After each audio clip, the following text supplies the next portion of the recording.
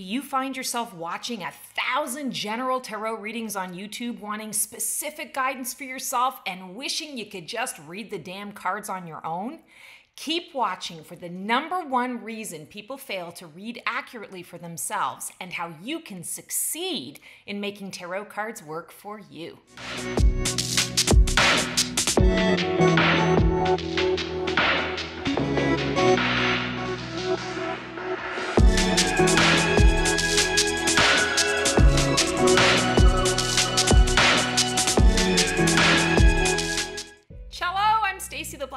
Intuitive. Today's video is all about helping you to feel confident and in the know around your own tarot deck so you get the guidance you need now without needing someone else to interpret them for you.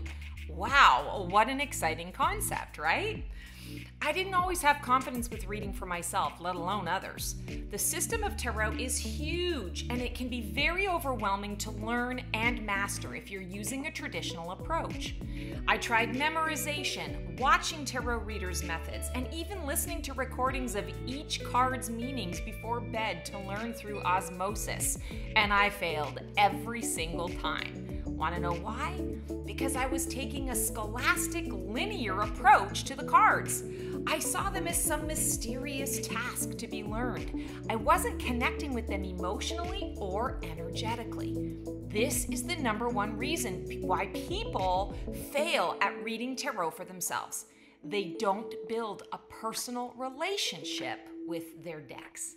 So here's what we're going to talk about now. Connect with your deck. Spend time bonding with your tarot deck to establish a strong, energetic connection. Just like developing friendships, it takes time and investment in getting to know one another. It's not always as simple as opening up a new deck, shuffling them up, and pulling some cards. When I'm introducing myself to a new deck, I always make sure I've got some serious time to look at each card for a few minutes. I let it reveal itself to me. I take notice of colors, symbols, images, people's expressions, animals, numbers. I take time to meditate on each card. I ask it questions. If you see it as merely a mysterious piece of paper with art on it, instead of a trusted friend or mentor, you'll overlook the answers it has for you.